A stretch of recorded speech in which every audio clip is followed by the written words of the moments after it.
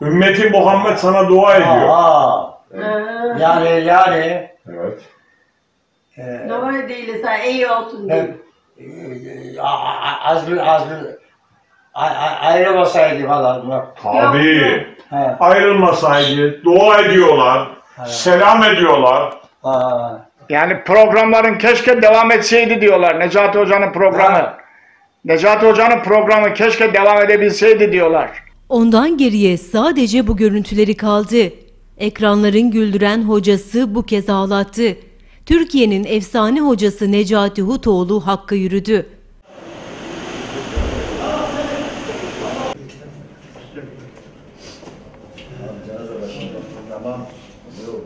Çay televizyonu ekranlarında yayınlanan Sahura Doğru programında soruları yanıtlayan Necati Hutoğlu herkese ekran başına kilitliyordu.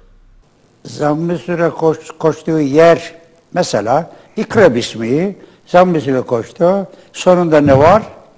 Secde var. İkra bismi rabbikellezi. Kalem suresinin değil mi? Kalem suresinin. Sonunda secde var.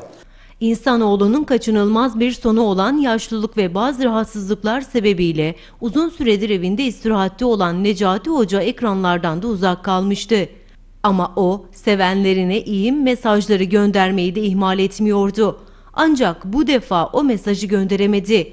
Kalp krizi geçiren Necati Hoca Rize Devlet Hastanesi'ne kaldırıldı. Burada doktorların yaptığı bütün müdahaleye rağmen kurtarılamadı. Allah yolu nasip eder.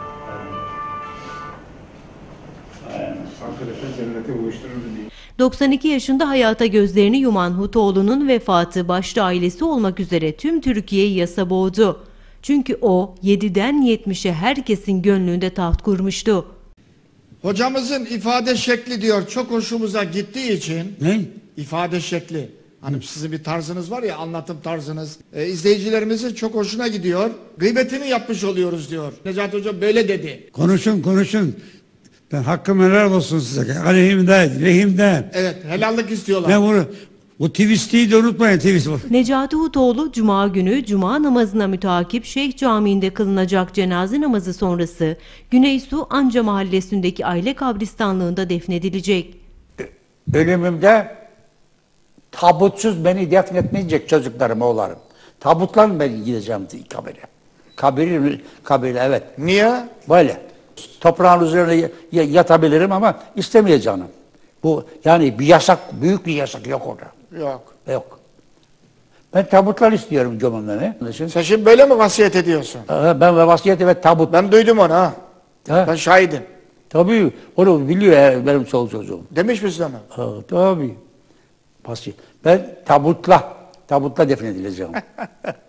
cenaze namazıma, benim cenaze namazıma kadınlar arkadan saf tutacaklar.